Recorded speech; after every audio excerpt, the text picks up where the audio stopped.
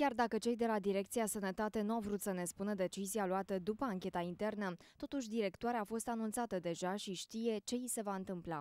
Contactată telefonic de către ProTV, ea a spus că jurnaliștii sunt vinovați că au făcut așa mare zarvă pe marginea acestui subiect. Eu mulțumesc la cei care au făcut toate scenele. De-am, de ce pot eu să mai fac eu, dar nu pot întoarce nimic. Că așa de bine s-au străduit că a ajuns informația și peste hotarele Moldovei. Așa o, un eveniment de mare. De asemenea, fosta directoare spune că la etajul 2, acolo unde au fost transferați pacienții, va fi în curând la fel de mizerabil ca și la primul etaj unde mișunau șobolanii.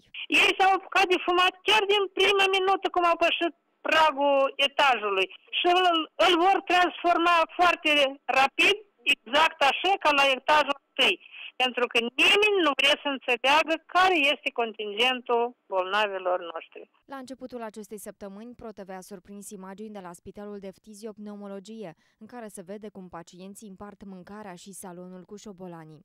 Direcția Sănătate s-a sesizat și a decis atunci ca primul etaj, acolo unde au fost filmate imaginile, să intre în reparație, iar bolnavii au fost transferați la etajul superior, unde condițiile sunt mai bune.